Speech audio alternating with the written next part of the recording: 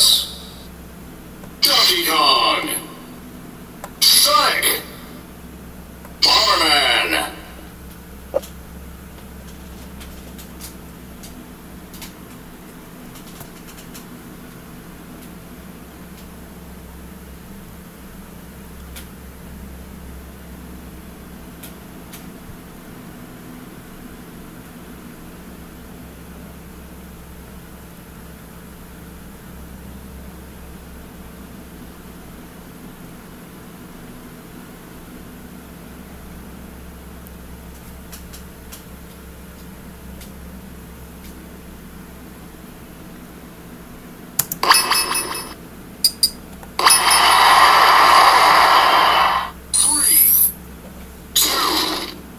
Hey, I'm ready when you are.